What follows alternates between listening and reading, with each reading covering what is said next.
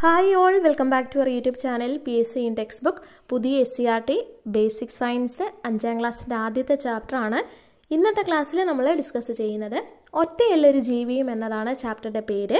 അപ്പോൾ പഴയ S C R T ക്ലാസ്സുകൾ പ്ലേലിസ്റ്റ് ചെക്ക് ചെയ്താൽ നിങ്ങൾക്ക് കാണാവുന്നതാണ് കേട്ടോ. അപ്പോൾ ഈ ഒരു ചാപ്റ്ററിനകത്ത് എന്തൊക്കെ കാര്യങ്ങളാണ് നമ്മൾ ഡിസ്കസ് ചെയ്യുന്നത് എന്നതാണ് ഈ ഒരു ഡയഗ്രത്തിൽ കൊടുത്തിട്ടുള്ളത്. അപ്പോൾ നമുക്കറിയാം ജീവികൾ പരസ്പരം ആശ്രയിച്ചിട്ടാണ് നമ്മുടെ ഈ ഭൂമിയിൽ കഴിയുന്നത്. അപ്പോൾ ജീവനുള്ള വസ്തുക്കളും ജീവനില്ലാത്ത വസ്തുക്കളും പരസ്പരം ആശ്രയിക്കുന്നുണ്ട്. അപ്പോൾ ഈ ജീവികൾ പരസ്പരം ആശ്രയിക്കുന്നത് എന്തിനൊക്കെ വേണ്ടിയിട്ടാകാം? ഒന്നുകിൽ അവർ വാസസ്ഥലത്തിന് വേണ്ടിയിട്ടാകാം അതല്ലെങ്കിൽ ആഹാരത്തിന് വേണ്ടിയിട്ടും ആകാം. ഒരു പ്രത്യേക പ്രദേശത്ത് പരസ്പരം ആശ്രയിക്കുന്ന ജീവീയ ഘടകങ്ങളും അജീവീയ ഘടകങ്ങളും ഉൾപ്പെട്ട സംവിധാനത്തിനെയാണ് നമ്മൾ ആവാസ വ്യവസ്ഥ എന്ന് പറയുന്നത്. ഇല്ലേ? അപ്പോൾ ഈ വാസസ്ഥലം ഒന്നുകിൽ വാസസ്ഥലത്തിന് വേണ്ടിയിട്ടാകാം അല്ലെങ്കിൽ ആഹാരത്തിന് വേണ്ടിയിട്ടാവാം ജീവികൾ പരസ്പരം ആശ്രയിക്കുന്നത്. ജീവികൾക്ക് നിലനിൽപ്പിന് ആവശ്യമായിട്ടുള്ള എല്ലാം അടങ്ങിയിട്ടുള്ള ഒരു സ്വാഭാവിക ചുറ്റുപാടിനെ നമ്മൾ ആവാസം എന്ന് പറയുന്നത്. അത് ഒന്നുകിൽ ഉദ്യാനമാകാം വയലുകളാകാം പുൽമേടുകളാകാം അല്ലെങ്കിൽ കുളം കടൽ അങ്ങനെ എന്ത് വേണമെങ്കിലും ആകാം. ഇല്ലേ? അപ്പോൾ ഈ ആവാസത്തിൽ ജീവനുള്ളതും കാണും ജീവനില്ലാത്ത വസ്തുക്കളും കാണും. ഇല്ലേ? ഇപ്പോൾ ജലസസ്യങ്ങൾ പായൽ ഞണ്ട് തവളൊക്കെ കാണും. അതേപോലെ തന്നെ മണ്ണ് ജലം വായു അതേപോലെ സൂര്യപ്രകാശമൊക്കെ ഇല്ലാതെ ഒന്നിനും നിലനിൽപ്പില്ല. അപ്പോൾ ഇതെല്ലാം എന്താ ഈ ആവാസത്തിൽ വരുന്ന കാര്യങ്ങളാണ്. ഇവിടെ ജീവനുള്ള വസ്തുക്കൾ പറയുമ്പോഴത്തേക്ക് നമുക്കറിയാം സസ്യങ്ങളും ജന്തുക്കളും. സസ്യങ്ങളിൽ തന്നെ പല കാര്യങ്ങൾക്ക് വേണ്ടിയിട്ട് മറ്റുള്ളവയെ ആശ്രയിക്കുന്നവയുണ്ട് പൂർണമായിട്ടും ആശ്രയിക്കുന്നവയുണ്ട്. അങ്ങനെ നമ്മൾ അതിനെ തന്നെ പല രീതിയിൽ ഡിവൈഡ് ചെയ്യുന്നുണ്ട്.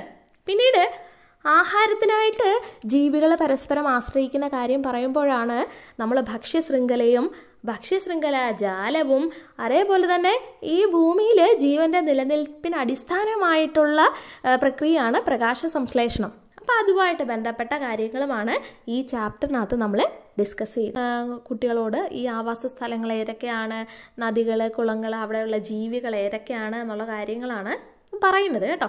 അപ്പം നമ്മൾ പി എസ് സി ഓറിയന്റഡ് ആയിട്ടാണ് എടുക്കുന്നത്. ഒരു കാര്യം പോലും മിസ്സാ അതിനൊന്നും യാതൊരു ടെൻഷന്റെ ആവശ്യമില്ല കേട്ടോ. പഴയ പാഠപുസ്തകങ്ങൾ നമ്മൾ ലൈൻ ബൈ ലൈൻ തന്നെയാണ്. എല്ലാം ഞാൻ എടുത്ത ക്ലാസ് എടുത്ത ചാപ്റ്റർ വരെ എല്ലാം ഡീറ്റെയിൽ ആയിട്ട് തന്നെയാണ് എക്സ്പ്ലെയിൻ ചെയ്തിട്ടുള്ളത് പി എസ് സിക്ക് വേണ്ടിയിട്ട്. അപ്പോൾ ഇതിനകത്ത് ആദ്യം നമുക്ക് പഠിക്കാനുള്ളത് എന്താണ്? ഭക്ഷ്യശൃംഖല ജാലം എന്നതാണ്. അപ്പോൾ നമുക്കറിയാം ആഹാരത്തിനായിട്ട് ജീവികൾ പരസ്പരം ആശ്രയിക്കുന്നു. ഇത്തരത്തിലുള്ള ജീവികളുടെ പരസ്പര ബന്ധത്തെയാണ് നമ്മൾ ഭക്ഷ്യ ശൃംഖല ജാലം അല്ലെങ്കിൽ ഫുഡ് വെബ് എന്ന് പറയുന്നത്. നോക്കൂ ഇവിടെ ഒരു നെൽച്ചെടി കാണിച്ചിട്ടുണ്ട്. അതിൽ നിന്ന് പല തരത്തിലുള്ള ഭക്ഷ്യ ശൃംഖലകളാണ് കാണിച്ചിട്ടുള്ളത്. അപ്പോൾ ഇത്തരത്തിൽ ഈ ഭക്ഷ്യശൃംഖലകൾ പരസ്പരം കെട്ടുപിണഞ്ഞാണ് കിടക്കുന്നത് ഇതിനെയാണ് നമ്മൾ ഭക്ഷ്യശൃംഖല ജാലം എന്ന് പറയുന്നത്. ഭക്ഷ്യശൃംഖല ഇതിനകത്ത് ഏതൊക്കെ ഏതെങ്കിലും ഒരെണ്ണവേ ഉള്ളൂ. ഇപ്പം സസ്യം മാൻ സിംഹം. അതെന്താണ്? ഒരു ഭക്ഷ്യശൃംഖലയാണ്. ഭക്ഷ്യശൃംഖല ജാലം എന്ന് പറയുമ്പോൾ ഇതെല്ലാം കൂടി വരുന്നതാണ് ഭക്ഷ്യശൃംഖല ജാലം എന്ന് പറയുന്നത്. അടുത്തത് കടലിലെ ചില ആഹാര ബന്ധങ്ങളാണ് ടെക്സ്റ്റിൽ അടുത്തതായിട്ട് കാണിച്ചിട്ടുള്ളത്. അപ്പോൾ നമുക്കറിയാം സ്രാവ് എന്ന് പറയുന്ന ജീവി കണവ മീനുകൾ കടലാമയെ ഇതിനെയൊക്കെ ആഹാരമാക്കാറുണ്ട്. മത്തി ചെറുമീനുകളെയും പ്ലവകങ്ങളെയും ആഹാരമാക്കാറുണ്ട്. അപ്പോൾ പ്ലവകങ്ങൾ ഇമ്പോർട്ടന്റ് ആണ്. ജലാശയങ്ങളിൽ സ്വതന്ത്രമായി ഒഴുകി നടക്കുന്ന ചെറിയ സസ്യങ്ങളെയാണ് എന്തെന്ന് പറയുന്നത്? പ്ലവകങ്ങൾ എന്ന് പറയുന്നത്. അതുകൊണ്ട് തന്നെ സമുദ്രം എന്ന് പറയുന്ന ആവാസ വ്യവസ്ഥയിലെ ഉൽപാദകരാണ് ആരെന്ന് പറയുന്നത്? പ്ലവകങ്ങൾ എന്ന് പറയുന്നത്. നമുക്കറിയാം ഒരു ഭക്ഷ്യശൃംഖലയിലെ ആദ്യത്തെ കണ്ണി എപ്പോഴും സസ്യങ്ങളായിരിക്കും അല്ലേ? സസ്യങ്ങളെ നമ്മൾ എന്തെന്ന് പറയുന്നത്? ഉൽപാദകർ എന്ന് പറയുന്നത്. കേട്ടോ. അപ്പോൾ ഇതിനകത്ത് പ്ലവകങ്ങളാണ് ഇമ്പോർട്ടന്റ് എന്ത്? സമുദ്രം എന്ന ആവാസ വ്യവസ്ഥയിലെ ഉൽപാദകർ ചോദിച്ചു കഴിഞ്ഞാൽ എന്താണ്? പ്ലവകങ്ങളാണ്. ഇനിയും ചെറുമീനുകളുടെ ഭക്ഷണങ്ങളും പ്ലവകങ്ങളാണ്. കടലാമയുടെ ഭക്ഷണവും സസ്യഭാഗങ്ങൾ മീനുകൾ ഒക്കെ ആയിരിക്കും. കേട്ടോ. അപ്പോൾ ഇതിനകത്ത് പ്ലവകങ്ങളാണ് ഇമ്പോർട്ടന്റ് ആയിട്ടുള്ള കാര്യം. അത് നോട്ട് ചെയ്യണം കേട്ടോ. ഇമ്പോർട്ടന്റ് ആണ്. അതേപോലെ പലതരത്തിലുള്ള ആവാസ വ്യവസ്ഥകൾ ഏതൊക്കെയാണ് എന്നൊക്കെ ചോദിച്ചിട്ടുണ്ട്. നമുക്കറിയാവുന്ന കാര്യങ്ങളാണ് എന്ത്? പുൽമേടുകൾ മരുഭൂമി കാവ് കടൽ പുഴകൾ ഇതെല്ലാം ആവാസ വ്യവസ്ഥകൾക്ക് ഉദാഹരണമാണ്. അടുത്തത് ഇമ്പോർട്ടന്റ് ആയിട്ടുള്ള ഒരു കാര്യം ഇതിലുണ്ട്. എന്തുകൊണ്ടാണ് ചിന്തിച്ചിട്ടുണ്ടോ? കടുവയെ സംരക്ഷിക്കേണ്ടതിന്റെ ആവശ്യകത എന്താണ്? ഈ സ്റ്റേറ്റ്മെന്റ് ടൈപ്പിൽ ഒരുപക്ഷെ നമുക്ക് ക്വസ്റ്റ്യൻസ് വന്നാൽ നമുക്ക് ഒരു കൺഫ്യൂഷൻ ഉണ്ടാവുന്ന ഒരു സ്റ്റേറ്റ്മെന്റ് ഇതിലുണ്ട്. അതുകൊണ്ട് ശ്രദ്ധിക്കുക കേട്ടോ. നമുക്കറിയാം. ഭക്ഷ്യശൃംഖലയിലെ ഏറ്റവും ഉയർന്ന കണ്ണിയിൽപ്പെടുന്ന ജീവിയാണ് കടുവ എന്ന് പറയുന്നത്. ആദ്യത്തെ കണ്ണി എപ്പോഴും സസ്യങ്ങളാണ്. ഭക്ഷ്യശൃംഖലയിലെ ഏറ്റവും താഴത്തെ കണ്ണി അല്ലെങ്കിൽ ആദ്യത്തെ കണ്ണി എന്ന് പറയുന്നത് സസ്യങ്ങളാണ് അല്ലെങ്കിൽ ഉൽപാദകരാണ്. രണ്ടാമത്തെ കണ്ണി സസ്യങ്ങളെ ഭക്ഷണമാക്കുന്നവയാണ് അല്ലേ? മൂന്നാമത്തെ ആണെങ്കിലും അവയെ ഭക്ഷണമാക്കുന്നവ. അപ്പോൾ ഏറ്റവും ഉയർന്ന തലത്തിൽപ്പെട്ട അല്ലെങ്കിൽ കണ്ണിയിൽപ്പെട്ട ജീവിയാണ് കടുവ എന്ന് പറയുന്നത്. ഒരു ആവാസ വ്യവസ്ഥയിൽ സസ്യാഹാരികളുടെയും മാംസാഹാരികളുടെയും എണ്ണം ആരോഗ്യകരമായി നിലനിർത്തുന്നതിൽ ഓരോ കണ്ണിയിലെയും ജീവികൾക്ക് പങ്കുണ്ട്. അല്ലെ? ഒരു ഭക്ഷ്യശൃംഖലയിലെ ഏതെങ്കിലും ഒരു കണ്ണിയുടെ എണ്ണം കുറഞ്ഞാൽ അത് മറ്റുള്ള ജീവികളെയും ദോഷകരമായി തന്നെ ബാധിക്കും. എന്നാൽ ശ്രദ്ധിക്കേണ്ട ഒരു കാര്യം ആഹാര ശൃംഖലയിലെ താഴെ കണ്ണിയിലുള്ള ചില ജീവിവർഗങ്ങൾ നശിച്ചാൽ അവയ്ക്ക് പകരം അതേ ധർമ്മം ചെയ്യുന്ന മറ്റ് ജീവിവർഗങ്ങൾ ഉണ്ടായേക്കാമെന്ന് വരാം. എന്നാൽ കടുവയെ പോലുള്ള ജീവികൾ ഇല്ലാതായാൽ പകരം ആ ധർമ്മം നിർവഹിക്കാൻ മറ്റ് ജീവികൾ അധികമില്ല. അതാ ശ്രദ്ധിക്കേണ്ടത് കേട്ടോ. അതായത് ഭക്ഷ്യശൃംഖലയിലെ താഴെ കണ്ണിലുള്ള ജീവികൾ നശിച്ചാൽ അതേ ധർമ്മം ചെയ്യുന്ന വേറെ ഏതെങ്കിലുമൊക്കെ ജീവികൾ കാണാം. എന്നാൽ ഉയർന്ന കണ്ണിയിൽപ്പെട്ട ജീവികളുടെ ഉദാഹരണമാണ് കടുവ. അതുപോലുള്ള ഒരു ജീവി നശിച്ചാൽ അതേ ധർമ്മം ചെയ്യുന്ന മറ്റ് ജീവികളുടെ എണ്ണം കുറവാണ്. അതിനാൽ കടുവയെ പോലെ ഉയർന്ന കണ്ണിയായ ജീവികളുടെ സംരക്ഷണം പ്രാധാന്യം അർഹിക്കുന്നു കേട്ടോ? കടുവയെ സംരക്ഷിക്കുന്നത് വഴി വലിയൊരു ആവാസ വ്യവസ്ഥ മുഴുവനായും സംരക്ഷിക്കപ്പെടുന്നു. അതാണ് അതിന്റെ ഇമ്പോർട്ടൻസ് അപ്പോൾ താഴെ കണ്ണിയിലുള്ള ജീവികളെക്കാളും സംരക്ഷണത്തിന് പ്രാധാന്യം അർഹിക്കുന്നത് ഉയർന്ന കണ്ണിയിൽപ്പെടുന്ന ജീവിയാണ്. അതാണ് ഓർത്തിരിക്കേണ്ടത് കേട്ടോ. പിന്നീട് അധിനിവേശക്കാർ എന്ന് പറയുന്ന ഒരു ടോപ്പിക്കാണ് ഇവിടെ കാണിച്ചിട്ടുള്ളത്. എന്ത് നമുക്കറിയാം നമ്മുടെ രാജ്യത്തേക്ക് മറ്റുള്ള ഭൂഖണ്ഡങ്ങളിൽ നിന്നും അല്ലെങ്കിൽ രാജ്യങ്ങളിൽ നിന്നുമൊക്കെ കൊണ്ടുവന്ന കുറേ ജീവികളുണ്ട്. അതിൽ ഉൾപ്പെടുന്നതാണ് ആഫ്രിക്കൻ മുഷി എന്ന് പറയുന്ന ഒരു ജീവി ഇല്ലേ? വളരെ പെട്ടെന്ന് തന്നെ വളർന്ന് പെരുകുന്ന ഒരു ജീവിയാണ് ആഫ്രിക്കൻ മുഷി എന്ന് പറയുന്നത്. ഇപ്പോൾ നിയമപരമായിട്ട് ഇത് വളർത്താനൊന്നും പറ്റത്തില്ല എന്നുള്ളതൊക്കെ നമുക്കറിയാവുന്ന കാര്യങ്ങളാണ്. ഇത് പല സാഹചര്യങ്ങളിലും നമ്മുടെ കേരളത്തിലുള്ള ജലാശയങ്ങളിൽ കാണപ്പെടുകയും നമ്മുടെ നാടൻ മത്സ്യങ്ങളെ ഇത് ഭക്ഷണമാക്കുകയും ചെയ്തു. പറഞ്ഞു സസ്യങ്ങളിൽ ഇലകൾക്ക് മാക്സിമം പരമാവധി സൂര്യപ്രകാശം കിട്ടുന്ന രീതിയിലായിരിക്കും ഇലകളുടെ വിന്യാസം. ആ വിന്യാസം അറേഞ്ച്മെന്റ് ഫില്ലോടാക്സി മൂന്ന് രീതിയിലാണ് ഉള്ളത്. P H Y L L O T A X Y ആണ് ഫില്ലോടാക്സി മൂന്ന് രീതിയിലാണ് ഇപ്പോൾ ഇവിടെ നോക്കൂ. ചെമ്പരത്തിയുടെ ഇല കണ്ടോ? ഒരു നോഡിൽ നിന്നും അതായത് ഒരു പർവത്തിൽ നിന്ന്. എന്തോ ഈ പർവവും നോടെന്നൊക്കെ പറഞ്ഞ ഒന്നുമില്ല. ആ ഇലകൾ ആ കാണ്ഡവുമായിട്ട് ചേരുന്ന ആ ഒരു പോർഷൻ ഉണ്ടല്ലോ. പുതിയ മുകളം വരുന്ന ആ ഒരു ഭാഗം. ഇലകളുടെയും അതായത് ലീഫ് സ്റ്റോക്ക് ആ തണ്ടിന്റെയും നമ്മുടെ ആ ചെടിയുടെയും ആ ഒരു പോർഷൻ കണ്ടില്ലേ? ഇപ്പം ആദ്യത്തിനകത്ത് ചെമ്പരത്തിയുടെ ഒരു ഭാഗത്ത് നിന്ന് ഒരു ഇല മാത്രമല്ല ഉള്ളൂ. അതായത് ഒരു നോഡിൽ നിന്നും ഒരു പർവത്തിൽ നിന്നും ഒരു ഇല മാത്രം ക്രമീകരിച്ചിരിക്കുന്ന രീതിയാണ് ഈ ആദ്യത്തെ വിന്യാസത്തിനെ വിളിക്കുന്ന പേരാണ് ഏകാന്തര വിന്യാസം. എന്താണ്? ഏകാന്തര വിന്യാസം ഓൾട്ടർനേറ്റ് ഫില്ലോടാക്സി എന്ന് പറയും. കേട്ടോ? അപ്പോൾ ഈ ഏകാന്തര വിന്യാസമുള്ള ഒന്ന് രണ്ട് സസ്യങ്ങളും കൂടി ഒന്ന് നോട്ട് ചെയ്തേക്കും. നമ്മുടെ പ്ലാവ് മാവ് സപ്പോട്ട കുറുന്തോട്ടി. ഇതൊക്കെ ഏകാന്തര വിന്യാസമുള്ള ഓൾട്ടർനേറ്റ് ഫില്ലോടാക്സിക്ക് ഉദാഹരണമാണ്. നിസാരമായിട്ടുള്ളൊരു കാര്യമാണ്. എന്താ? ഒരു നോഡിൽ നിന്ന് ഒരു ഇല മാത്രം ക്രമീകരിച്ചിരിക്കുന്ന രീതിയാണ്. നോട് അല്ലെങ്കിൽ അതിന്റെ മലയാളം പർവമാണ് അതെന്താണെന്നറിയാമല്ലോ? ഒരു സസ്യത്തിന്റെ ഒരു കാണ്ഡത്തിൽ നിന്നായി ഇല കാണ്ഡവും അല്ലെങ്കിൽ സ്റ്റെമ്മും ഇലയും തമ്മിൽ ആ ജോയിൻ ചെയ്യുന്ന പോർഷനെ നമ്മൾ നോഡെന്ന് പറയുന്നത് കേട്ടോ. അപ്പോൾ ഒരു നോഡിൽ ഒരു ഇല മാത്രമേ ഉള്ളെങ്കിൽ അത് ഏകാന്തര വിന്യാസം അല്ലെങ്കിൽ ഓൾട്ടർനേറ്റീവ് ഫില്ലോടാക്സി അപ്പോൾ ചെമ്പരത്തിയും ഓൾട്ടർനേറ്റീവ് ഫില്ലോടാക്സിയാണ് എന്നാൽ ദേ ഇവിടെ നോക്കിക്കേ. തുളസിയിലാണെങ്കിലോ ഒരു നോഡിൽ നിന്നും ഒരു പർവത്തിൽ നിന്നും അതിന്റെ ഇരുവശത്തുമായിട്ട് രണ്ട് ഇലകൾ ഒരേപോലെ ക്രമീകരിച്ചിട്ടുണ്ട്. ഇത്തരത്തിലുള്ള രീതിയാണ് ഓപ്പോസിറ്റ് ഫില്ലോടാക്സി അല്ലെങ്കിൽ എതിർ വിന്യാസം എന്ന് പറയുന്നത്. അപ്പോൾ എന്താണ് എതിർ വിന്യാസം എന്ന് പറയുന്നത്? ഒരു പർവത്തിന്റെ ഇരുവശത്തുമായി രണ്ട് ഇലകൾ ക്രമീകരിച്ചിരിക്കുന്ന രീതിക്കാണ് എന്തെന്ന് പറയുന്നത്? എതിർ വിന്യാസം എന്ന് പറയുന്നത്. ഉദാഹരണം ഒന്ന് നോട്ട് ചെയ്തേക്കണേ. ഓപ്പോസിറ്റ് ഫില്ലോടാക്സിക്ക് ഒന്ന് തുളസിയാന്ന് നമ്മൾ കണ്ടു അല്ലേ? അതേപോലെ തന്നെ തുമ്പ പേര കാപ്പി തെച്ചി ഇതെല്ലാം എന്താണ്? എതിർവിന്യാസത്തിന് ഉദാഹരണമാണ്. എന്നാൽ മൂന്നാമത്തതാണ് വേൾഡ് ഫില്ലോടാക്സി അല്ലെങ്കിൽ സർപ്പിള വിന്യാസം W H O R L E D ആണ് കേട്ടോ. W H O R L E D ആണ് വേൾഡ് ഫില്ലോടാക്സി അല്ലെങ്കിൽ സർപ്പിള വിന്യാസം. ഇവിടെ എന്താ നോക്കിക്കേ? ഒരു നോഡിൽ നിന്ന് ഒന്നുമല്ല രണ്ടുമല്ല. ഒരു പർവത്തിൽ നിന്ന് അല്ലെങ്കിൽ ഒരു നോഡിൽ നിന്ന് രണ്ടിൽ കൂടുതൽ ഇലകൾ ക്രമീകരിച്ചിരിക്കുന്ന രീതിക്കാണ് എന്തെന്ന് പറയുന്നത്? സർപ്പിള വിന്യാസം എന്ന് പറയുന്നത്. ഈ കാണിച്ചിട്ടുള്ളത് ഏഴിലം പാലയാണ് കേട്ടോ. ഈ ചെടി എവിടെയൊക്കെയോ ഞാനും കണ്ടിട്ടുണ്ട്. പക്ഷേ ഇതിന് ഉപയോഗം എന്താണെന്നൊന്നും എനിക്ക് അറിഞ്ഞുകൂടാ കേട്ടോ. അപ്പോൾ ഈ ഏഴിലം പാലയ്ക്ക് ഉള്ള മറ്റു ഉദാഹരണങ്ങളും കൂടി ഒന്ന് നോട്ട് ചെയ്തേക്കും. അരളിച്ചെടി അതേപോലെ തന്നെ എരുക്കിന്റെ ഇല കോളാമ്പി ചെടി മാന്റവില്ലയും ഇതേപോലെയാണെന്നാണ് തോന്നുന്നത്. ഒരു ഫ്ലവറിങ് പ്ലാന്റ് ആണ്. മറ്റേ യെല്ലോ കളറിലും റെഡ് കളറിലും ഒക്കെയുള്ള ഒരു ഒരു പ്ലാന്റ് ആണല്ലോ മാന്റവില്ല എന്ന് പറയുന്നത്. അപ്പോൾ സർപ്പിള വിന്യാസത്തിന് ഉദാഹരണം കോളാമ്പി. ഏഴിലമ്പാല എന്തായാലും ഓർത്ത് വെച്ചേക്കണം? ടെക്സ്റ്റിൽ പ്രത്യേകം പറയുന്നതാണ് അരളി എരിക്ക്. ഇതൊക്കെ എന്തിന് ഉദാഹരണമാണ്? സർപ്പിള വിന്യാസത്തിന് ഉദാഹരണമാണ്.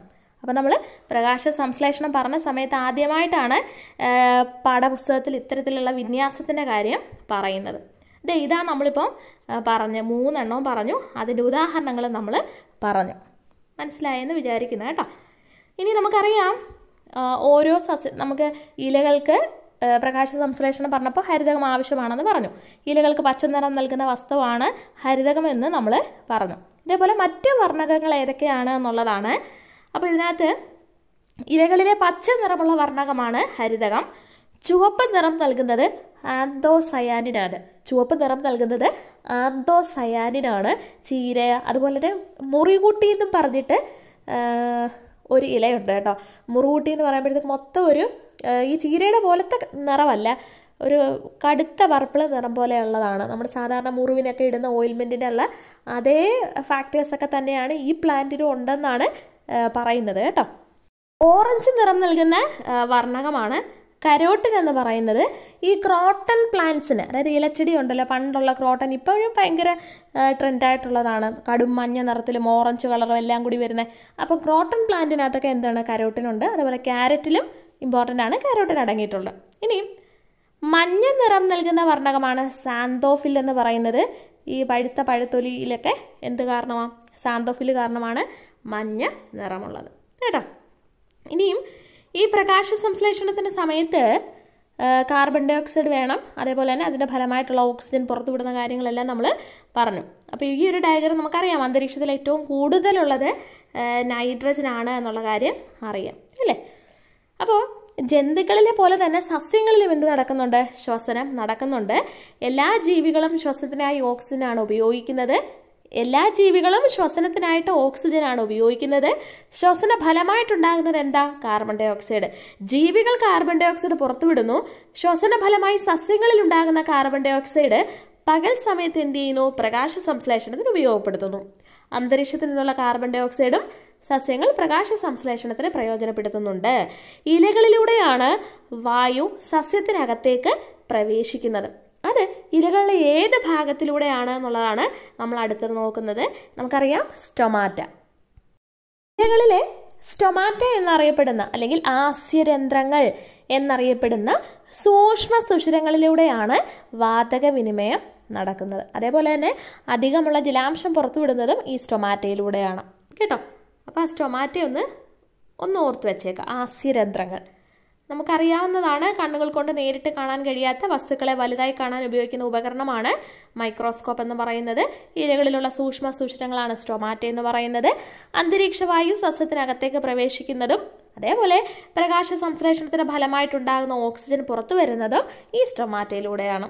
അടുത്ത രാത്രികാലങ്ങളിൽ സസ്യങ്ങളിൽ ശ്വസനമാണ് നടക്കുന്നത്. ആ സമയത്ത് ഓക്സിജനെ ഉള്ളിലേക്ക് എടുക്കുകയും കാർബൺ ഡൈ ഓക്സൈഡിനെ പുറത്തുവിടുകയും ചെയ്യുന്നു. ഈ കാർബൺ ഡൈ ഓക്സൈഡ് പകൽ സമയങ്ങളിൽ പ്രകാശ സംശ്ലേഷണം നടക്കുന്ന സമയത്ത് എന്ത് ചെയ്യും? അവർ ഉള്ളിലേക്ക് ആകിരണം ചെയ്യുകയാണ് ചെയ്യുന്നത്. കേട്ടോ മിക്ക നമുക്കറിയാം എത്ര ടഫുള്ള ഒരു എക്സാമിനാണെങ്കിലും ഈ ഒരു കാര്യം എപ്പോഴും ഇപ്പോഴും എന്ത് ചെയ്യുന്നുണ്ട്? ചോദിക്കുന്നുണ്ട് അല്ലേ? പ്രകാശ സംശ്ലേഷണ സമയത്ത് പുറത്തുവിടുന്നതും ആകിരണം ചെയ്യുന്നതും ഏതാണ് എന്നുള്ളത്. അപ്പോൾ അതൊന്ന് ഓർത്ത് വെക്കുക. ഇനി നമ്മൾ അടുത്തത് മരവാഴ മരവാഴയിൽ അവയുടെ ചെറിയ വേരുകൾ എന്ത് ചെയ്യുന്നു? മരവാഴയെ മരത്തിൽ പറ്റിപ്പിടിച്ച് വളരാൻ സഹായിക്കുന്നു. കട്ടി കൂടിയ വേരുകൾ അന്തരീക്ഷത്തിൽ നിന്ന് ഈർപ്പം വലിച്ചെടുക്കുന്നതിനാണ് സഹായിക്കുന്നത്. ഇത്തരത്തിൽ വാസസ്ഥലത്തിന് വേണ്ടിയിട്ട് മാത്രമാണ് ഇത് ആതിഥേയ സസ്യങ്ങളെ ആശ്രയിക്കുന്നത്. ഇത്തരം സസ്യങ്ങളെയാണ് എപ്പിഫൈറ്റുകൾ എന്ന് പറയുന്നത്. ഓർക്കിഡുകൾ എപ്പിഫൈറ്റുകൾക്ക് ഉദാഹരണമാണ്. അപ്പോൾ വാസസ്ഥലത്തിന് വേണ്ടി മാത്രം മറ്റ് സസ്യങ്ങളെ ആശ്രയിക്കുന്ന അല്ലെ ഈ ഇവർ വളരുന്ന സസ്യത്തിന് ഇവരെ കൊണ്ട് യാതൊരു ദോഷവും ഇല്ല ഇപ്പം വെളുത്ത് തടിച്ച വേരുകളാണ്. നമുക്കറിയാം ഓർക്കിഡിന്റെ പറയുമ്പോൾ നിങ്ങൾക്ക് പെട്ടെന്ന് അത് മനസ്സിലാവും.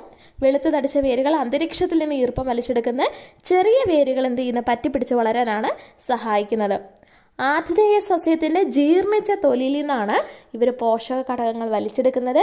ഇവർ സ്വയം പ്രകാശ സംശ്ലേഷണം നടത്തുന്നുണ്ട്. ഇതിനുള്ള ഉദാഹരണമാണ് ഓർക്കിഡുകളെല്ലാം തന്നെ. അതുപോലെ പായലുകൾ ലൈക്കണുകൾ പന്നൽ ചെടികൾ ഇതെല്ലാം എപ്പിഫൈറ്റ് വിഭാഗത്തിൽപ്പെടുന്ന ചെടികളാണ്. ഒന്ന് ഓർത്ത് വെച്ചേക്കുക കേട്ടോ. ഓർക്കിഡുകളും ലൈക്കണുകൾ പന്നൽ ചെടികൾ അതുപോലെ തന്നെ മരവാഴ. അത് എപ്പിഫൈറ്റുകൾക്ക് ഉദാഹരണമാണ്. എന്നാൽ ഇത്തിൽക്കണ്ണി പോലെയുള്ള അതായത് ഇവരെന്താ ചെയ്യുന്നത് ആതിഥേയ സസ്യത്തിൽ നിന്നും ജലവും ലവണവും വലിച്ചെടുത്ത് എന്നാൽ ആഹാരം ഇവർ സ്വയം നിർമ്മിക്കും. ഇത്തരത്തിലുള്ള സസ്യങ്ങളെയാണ് അർദ്ധപരാതങ്ങൾ എന്ന് പറയുന്നത്. ഇവർ ഒരു രീതിയിൽ പരാത സസ്യങ്ങളാണ് പക്ഷെ പൂർണമായിട്ടുമല്ല. കാര്യം എന്താ ഇവർ ആഹാരം സ്വയം നിർമ്മിക്കുന്നുണ്ട്. അതുകൊണ്ട് അർദ്ധപരാത സസ്യങ്ങൾക്ക് ഉദാഹരണമാണ് ഇത്തിളും അതേപോലെ തന്നെ ചന്ദനവും. ചന്ദനവും അറിയാം അത് നിൽക്കുന്ന സ്ഥലത്തു നിന്ന് ഒരുപാട് ദൂരെ വരെ അതിന്റെ വേരുകൾ പോയി മറ്റുള്ള വൃക്ഷങ്ങളിൽ നിന്നും അല്ലെങ്കിൽ സസ്യങ്ങളിൽ നിന്നും എല്ലാം എന്ത് ചെയ്യും? അവർ ജലവും ലവണങ്ങളും വലിച്ചെടുക്കും. അങ്ങനെ അവർ സ്വയം ആഹാരം നിർമ്മിക്കുകയാണ്. അതുകൊണ്ട് ഇത്തിളും അതേപോലെ ചന്ദനവുമാണ് അർദ്ധപരാത സസ്യങ്ങൾക്ക് ഉദാഹരണം. എന്നാൽ അർദ്ധപരാത സസ്യങ്ങൾ അത് സെമി പാരസൈറ്റ് എന്നാണ് പറയുന്നത്. കേട്ടോ? എന്നാൽ മൂടില്ല താളി അതേപോലെ റെഫ്ലേഷ്യ തുടങ്ങിയ സസ്യങ്ങൾ എന്താ ചെയ്യുന്നത് അവർക്ക് യാതൊരു മെനക്കെടാനേ വയ്യ. അതുകൊണ്ട് അവരെന്ത് ചെയ്യും? ആതിഥേയ സസ്യത്തിൽ നിന്ന് പോഷക ഘടകങ്ങൾ വലിച്ചെടുക്കും. അതിന് അനുയോജ്യമായിട്ടുള്ള വേരുകളാണ് ഈ മൂടില്ലാത്താളിക്കും അതേപോലെ റഫ്ലേഷ്യയ്ക്കും ഉള്ളത്. അപ്പോൾ ഇത്തരത്തിലുള്ള സസ്യങ്ങളെയാണ് പൂർണ പരാര സസ്യങ്ങൾ ടോട്ടൽ പാരസൈറ്റുകൾ എന്ന് പറയുന്നത്. കേട്ടോ? അപ്പോൾ ഇതാണ് ഈ ചാപ്റ്ററിനകത്ത് പ്രധാനപ്പെട്ട കാര്യങ്ങൾ. പിന്നെ ഈ ചാപ്റ്ററിനെ ഒന്ന് വിലയിരുത്താം ചോദ്യങ്ങൾ നമുക്ക് അത്ര ഡീറ്റെയിൽ ആയിട്ടൊന്നും ഡിസ്കസ് ചെയ്യേണ്ട യാതൊരു കാര്യവുമില്ല. ചുവപ്പ് നിറത്തോടു കൂടി ഇലകളുള്ള സസ്യങ്ങൾക്ക് ആഹാരം നിർമ്മിക്കാനും കഴിയുമോ എന്നൊക്കെ ചോദിച്ചാൽ നമുക്കറിയാമല്ലോ തീർച്ചയായിട്ടും കഴിയും എന്നുള്ളത്. പിന്നെ ആഹാര ശൃംഖലാജാലത്തിലെ തവളകളുടെ എണ്ണം കുറഞ്ഞു കഴിഞ്ഞാൽ എന്ത് ചെയ്യും? തവള ഭക്ഷിക്കുന്ന ഈച്ച കൊതുക് പോലെയുള്ള പ്രാണികളുടെ എണ്ണം കൂടും. അങ്ങനെയുള്ള ക്വസ്റ്റ്യൻസേ ഉള്ളൂ കേട്ടോ. വലിയ ക്ലാസ്സിൽ വരുമ്പോഴാണ് നമുക്ക് കുറേയും കൂടിയൊക്കെ ഡിസ്കസ് ചെയ്യാനൊക്കെ ഉള്ളത്. പിന്നീട് വാതക വിനിമയത്തിലെയൊക്കെ ഘട എന്താ സ്റ്റേജസ് ഒക്കെ എഴുതാനാണ് പറഞ്ഞേക്കുന്നത് നമുക്ക് ഓൾറെഡി അറിയാം പ്രകാശ സംശ്ലേഷണവും ശ്വസനത്തിന്റെ സമയത്ത് ഏത് വാതകം ഉള്ളിലോട്ടെടുക്കും പുറത്തേക്ക് വിടും എന്നുള്ളത്. ചാപ്റ്ററുമായിട്ട് ബന്ധപ്പെട്ടുള്ള അഡീഷണൽ ആയിട്ടുള്ള കാര്യങ്ങളാണ്. ജസ്റ്റ് ഒന്ന് നമുക്ക് നോക്കിപ്പോകാം യാത്രാ സൗകര്യങ്ങളിലുണ്ടായ വർധനവ് കൊണ്ടും വളർത്തുമൃഗ കച്ചവടം കൃഷി ജൈവ നിയന്ത്രണ മാർഗങ്ങൾ എന്നിവയിലൂടെയുമാണ് ജീവികൾ ഒരു രാജ്യത്തു നിന്ന് മറ്റൊരു രാജ്യത്തേക്ക് കൈമാറ്റം ചെയ്യപ്പെടുന്നത്. ആഫ്രിക്കൻ മുഷിയും ആഫ്രിക്കൻ ഒച്ചുകളും ഇന്ന് കേരളത്തിലെമ്പാടുമുണ്ട് ചുവന്ന ചെവിയുള്ള കുഞ്ഞനാമകളും നിരവധി അലങ്കാര മത്സ്യങ്ങളും കൃഷി ആവശ്യത്തിന് കൊണ്ടുവന്ന മത്സ്യങ്ങളും കേരളത്തിലെ തനത് മത്സ്യസമ്പത്തിന് ഭീഷണിയാവുന്നു. രണ്ടായിരത്തി പതിനെട്ട് പത്തൊമ്പത് കാലത്തുണ്ടായ വെള്ളപ്പൊക്കം വളർത്തുമൃഗങ്ങളെ അടുത്തുള്ള ജലാശയത്തിലേക്ക് എത്തിക്കുന്നതിന് കാരണമായിട്ടുണ്ട് അല്ലേ വെള്ളം പൊങ്ങിയ സമയത്ത് ഈ മീൻ വളർത്തുന്ന കുളത്തിൽ നിന്നൊക്കെ എന്ത് ചെയ്യും? വളർത്തിക്കൊണ്ടിരുന്ന മത്സ്യങ്ങളെല്ലാം തൊട്ടടുത്ത ജലാശയങ്ങളിലേക്ക് എത്തും. മൊസാംബിക് തിലോപ്പിയ എന്നറിയപ്പെടുന്ന കരിമീനിനോട് സാദൃശ്യമുള്ള മത്സ്യം കേരളത്തിലെ ഒട്ടുമിക്ക ജലാശയങ്ങളെയും കീഴടക്കിയിരിക്കുന്നു. ഇതൊക്കെ വളരെ പെട്ടെന്ന് വലുതായി ബ്രീഡ് ചെയ്ത് അതിന്റെ എണ്ണം കൂടും. അപ്പോൾ ഇത് നമ്മുടെ നാടൻ മത്സ്യങ്ങളെയൊക്കെ ഭക്ഷണമാക്കുകയും നമ്മുടെ നാടൻ മത്സ്യങ്ങൾക്ക് വംശനാശം വരാൻ കാരണമാവുകയും ചെയ്യും. അധിനിവേശ സസ്യങ്ങളെയാണ് സെന്ന അല്ലെങ്കിൽ ചാരക്കൊന്ന എന്നാണ് പറയുന്നത്. പിന്നെ ധൃതരാഷ്ട്ര പച്ച ആന തൊട്ടാവാടി ഇതൊക്കെ നമ്മൾ പറഞ്ഞു. അതേപോലെ തോട്ടപ്പയർ സിംഗപ്പൂർ ഡെയ്സി ഇതൊക്കെ ഭംഗിക്ക് കൊണ്ടുവന്ന പക്ഷേ ഇത് പിന്നീട് അങ്ങ് വീടായിട്ട് മാറി. കള കളകളായിട്ട് മാറി. ആഫ്രിക്കൻ പായൽ കുളവാഴ മുള്ളൻ പായൽ മുതലായവ അധിനിവേശ സസ്യങ്ങൾക്ക് ഉദാഹരണമാണ്. ജലാശയങ്ങളിൽ ഒരു പുതപ്പ് കണക്കെ പൊങ്ങിക്കിടക്കുന്ന സസ്യങ്ങൾ സൂര്യപ്രകാശം വെള്ളത്തിലേക്ക് അരിച്ചിറങ്ങുന്നത് തടയുന്നു. വെള്ളത്തിലെ ഓക്സിജന്റെ അളവ് കുറയ്ക്കാനും പി എച്ച് മൂല്യത്തിന് മാറ്റമുണ്ടാക്കാനും ഇത്തരം ചെടികൾ കാരണമാകുന്നു. കണ്ടോ? പി എച്ച് മൂല്യവും പി എച്ച് വാല്യൂം ഇവർ ചേഞ്ച് ചെയ്യും. വിത്തുകളുടെ എണ്ണ കൂടുതൽ വ്യാപിക്കാനുള്ള കഴിവ് എന്നിവ സസ്യങ്ങളുടെ അതിവേഗ വ്യാപനത്തിന് കാരണമാകുന്നു. തരിശായി കിടക്കുന്ന ഭൂമിയിൽ കൃഷി ചെയ്യുക അധിനിവേശ സസ്യങ്ങൾ പൂക്കുന്നതിന് മുമ്പ് തന്നെ വേരോടെ പറിച്ച് നശിപ്പിച്ചു കളയുക തുടങ്ങിയ പ്രവർത്തനങ്ങളിലൂടെ നമുക്ക് അവയുടെ വ്യാപനം തടയാൻ കഴിയും. അടുത്തത് നമ്മൾ പറഞ്ഞു ഹരിതകത്തിന്റെ കാര്യവും ആന്തോസയാനിനും കരോട്ടിന്റെ കാര്യമൊക്കെ നമ്മൾ ഡിസ്കസ് ചെയ്തു. സസ്യഭാഗങ്ങൾക്ക് നിറ അതുമായിട്ട് ബന്ധപ്പെട്ട അഡീഷണൽ ആണ് ഇത്. ഈ ഈ ക്ലാസ്സിന്റെ അഞ്ചാം ക്ലാസ്സിന്റെ ഇത്രയേ ഉള്ളൂ കേട്ടോ. സസ്യഭാഗങ്ങൾക്ക് നിറം നൽകുന്ന പദാർത്ഥങ്ങളാണ് വർണകങ്ങൾ അല്ലെങ്കിൽ പിഗ്മെന്റുകൾ പ്രകാശത്തിലെ ചില നിറങ്ങളെ ആഗീരണം ചെയ്യുകയും ചിലവയെ പ്രതിഫലിക്കുകയും ചെയ്യുന്നത് മൂലമാണ് അവ വ്യത്യസ്ത നിറങ്ങളിൽ കാണുന്നത്. മൂന്ന് കൂട്ടം പ്രധാന വർണകങ്ങളാണ് സസ്യങ്ങളിൽ കാണപ്പെടുന്നത്. അത് ഹരിതകങ്ങൾ നമ്മൾ കേട്ടിട്ടുണ്ട്. കരോട്ടിനോയിഡുകൾ നമുക്കറിയാം. ഫ്ലാവനോയിഡുകൾ. അത് ടെക്സ്റ്റ് ബുക്കിൽ ആദ്യമായിട്ടാണ് ആ ഒരു പേജ് പത്ത് വരെ ഉള്ളതിനകത്ത് കേട്ടോ. അപ്പോൾ ഫ്ലാവനോയിഡുകൾ എന്നിവയാണ് ഈ മൂന്നെണ്ണം. ഹരിതകങ്ങൾ കരോട്ടിനോയിഡുകൾ ഫ്ലാവനോയിഡുകൾ എന്നിവയാണ് പ്രധാനപ്പെട്ട മൂന്ന് വർണകങ്ങൾ. പച്ച നിറത്തിന് കാരണമായത് ഹരിതകങ്ങളാണ്. മഞ്ഞ ഓറഞ്ച് ചുവപ്പ് തുടങ്ങിയ നിറങ്ങൾക്ക് കാരണമായത് ചില കരോട്ടിനോയിഡുകളാണ്. എന്നാൽ ഇതേപോലെ തന്നെ മഞ്ഞ ചുവപ്പ് നീല നിറങ്ങൾക്ക് കാരണമായിട്ടുള്ളത് ചില ഫ്ലാവനോയിഡുകളാണ്. കേട്ടോ? അപ്പോൾ ഇതിനകത്ത് ചുവപ്പും മഞ്ഞയും ഓറഞ്ച് പറയുവാണെങ്കിലാണ് കരോട്ടിനോയിഡുകൾ എന്നാൽ ചുവപ്പ് മഞ്ഞ നീല നിറങ്ങൾക്ക് കാരണമായിട്ടുള്ളത് ഫ്ലാവനോയിഡുകളാണ്. അപ്പോൾ ഈ സസ്യഭാഗങ്ങളുടെ മറ്റ് നിറങ്ങൾക്ക് കാരണം ഈ പറയുന്ന മൂന്ന് വർണകങ്ങളുടെ വ്യത്യസ്ത അളവിലുള്ള കൂടിച്ചേരലുകളാണ്. അപ്പോൾ ഹരിതകങ്ങൾ കരോട്ടിനോയിഡുകൾ ഫ്ലാവനോയിഡുകൾ. ഫ്ലാവനോയിഡുകൾ ചുവപ്പ് മഞ്ഞ പിന്നെ ഏതാ ഒരു നിറം? ഒന്ന് ഓർത്ത് നോക്കിയേ നീല നിറമാണ്. കേട്ടോ? സസ്യങ്ങൾക്ക് വളർച്ച രോഗപ്രതിരോധം തുടങ്ങിയ പ്രവർത്തനങ്ങൾക്ക് ഊർജം ആവശ്യമാണ്. എന്നാൽ ചലനം സസ്യങ്ങൾ ചലിക്കില്ലല്ലോ. ചലനം നടക്കാത്തതിനാൽ ജന്തുക്കൾക്ക് ആവശ്യമുള്ള അത്ര ഊർജം ആവശ്യമില്ല സസ്യങ്ങൾക്ക്. ഊർജം ലഭിക്കാൻ ശ്വസനം നടക്കേണ്ടത് ആവശ്യമാണ്. പോഷക ഘടകങ്ങളിൽ ഓക്സിജൻ പ്രവർത്തിച്ചാണ് ഊർജവും കാർബൺ ഡൈ ഓക്സൈഡും പുറത്തുവിടുന്നത്. നമ്മൾ നമുക്കറിയാം. പ്രകാശ സംശ്ലേഷണത്തിന്റെ ഫലമായിട്ട് എന്തുണ്ടാവും? അതുപോലെ ശ്വസനത്തിന്റെ ഫലമായിട്ടാണ് എന്ത് ഊർജവും കാർബൺ ഡൈ ഓക്സൈഡും ഉണ്ടാകുന്നത് പ്രകാശ സംശ്ലേഷണത്തിന്റെ ഫലമായിട്ട് ഗ്ലൂക്കോസും ഓക്സിജനുമാണ് ഉണ്ടാവുന്നത്. അപ്പോൾ ഊർജം പുറത്തുവിടുന്ന പ്രക്രിയയാണ് എന്ത്? റെസ്പിറേഷൻ അല്ലെങ്കിൽ ശ്വസനം എന്ന് പറയുന്നത്. അപ്പോൾ സസ്യങ്ങളിലും എന്താണ്? പോഷക ഘടകങ്ങളിൽ പോഷക ഘടകങ്ങളും ഓക്സിജനും കൂടി പ്രവർത്തിച്ചിട്ടാണ് ഊർജവും കാർബൺ ഡൈ ഓക്സൈഡും പുറത്തുവിടുന്നത്. ഇലകളിലെ സൊമാറ്റയിലൂടെ മാത്രമല്ല സസ്യങ്ങളിൽ വാതക വിനിമയം നടക്കുന്നത്. പിന്നോ കാണ്ഡങ്ങളിലുള്ള ലെൻഡി സെല്ലുകളിലൂടെയും വേരുകളിലൂടെയും വാതക വിനിമയം നടക്കുന്നുണ്ട്. അഡീഷണൽ പോയിന്റ് ആണ് കേട്ടോ. അപ്പോൾ സസ്യങ്ങളിലെ ഇലകളിലുള്ള സ്റ്റൊമാറ്റ നമ്മൾ പറഞ്ഞു അല്ലെങ്കിൽ ആശ്രയന്ത്രങ്ങൾ പറഞ്ഞു. അത് മാത്രമല്ല സസ്യങ്ങളിലെ കാണ്ഡങ്ങളിലൂടെയുള്ള അല്ലെങ്കിൽ അതിന്റെ തണ്ട് അതിന്റെ കമ്പിലൂടെയുള്ള ലെൻഡി സെല്ലുകളിലൂടെയും വേരുകളിലൂടെയും വാതക വിനിമയം നടക്കുന്നുണ്ട്. ഇമ്പോർട്ടന്റ് ആണ്. ഒരു പക്ഷെ നമ്മളിപ്പോൾ സ്റ്റൊമാറ്റ മാത്രമേ കേട്ടിട്ടുള്ളൂ എന്നതുകൊണ്ട് അത് മാത്രമായിരിക്കും നമ്മൾ ചിലപ്പോൾ സ്റ്റേറ്റ്മെന്റ് ഒക്കെ തന്ന് ഈ വേരുകളിലൂടെ വാതക വിനിമയം നടക്കുന്നു. അപ്പോൾ നമ്മൾ വിചാരിക്കും ആ സ്റ്റേറ്റ്മെന്റ് തെറ്റാണ് അതുകൊണ്ട് ഇത് ഇമ്പോർട്ടന്റ് ആണ്. ശ്രദ്ധിക്കണം കേട്ടോ. ഇലകളിലെ സ്റ്റൊമാറ്റയിലൂടെ മാത്രമല്ല സസ്യങ്ങളിലെ വാതകവിനിമയം നടക്കുന്നത്. പിന്നെ കാണ്ടങ്ങളിലെ ലെൻഡി സെല്ലുകളിലൂടെയും വേരുകളിലൂടെയും വാതകവിനിമയം നടക്കുന്നുണ്ട്. ാണ് ആദ്യത്തെ ചാപ്റ്റർ അപ്പോൾ നമ്മൾ ഓരോ ചാപ്റ്ററും ഓരോ വീഡിയോ ആയിട്ടാണ് ഞാൻ എടുക്കാം. ചെറുതാണെങ്കിലും വലുതാണെങ്കിലും ഇപ്പോൾ ഏഴിന്റെയും ഒൻപതാം ക്ലാസ്സിന്റെയും ഒന്നും ഒരു ക്ലാസ് ഒരിക്കലും ഒരു വീഡിയോയിൽ മാത്രം നമുക്ക് എടുക്കാൻ പറ്റത്തില്ല കേട്ടോ. അത്ര ലെങ്തി ചാപ്റ്റേഴ്സാണ് അപ്പോൾ വീഡിയോ മുഴുവനായിട്ടും നിങ്ങൾ കണ്ടു എന്ന് ഞാൻ വിശ്വസിക്കുന്നു. അഭിപ്രായങ്ങളുണ്ടെങ്കിൽ ദയവീത് അത് കമന്റ് ബോക്സിൽ രേഖപ്പെടുത്തുക. അതേപോലെ തന്നെ പി എസ് സിക്ക് പ്രിപ്പയർ ചെയ്യുന്ന നിങ്ങളുടെ സുഹൃത്തുക്കൾക്കും ചാനൽ ഷെയർ ചെയ്ത് കൊടുക്കുക കേട്ടോ. അപ്പോൾ നിങ്ങളുടെ വിലയേറിയ അഭിപ്രായങ്ങൾക്കായി കാതോർത്തുകൊണ്ട് നിർത്തട്ടെ. നന്ദി. നമസ്കാരം.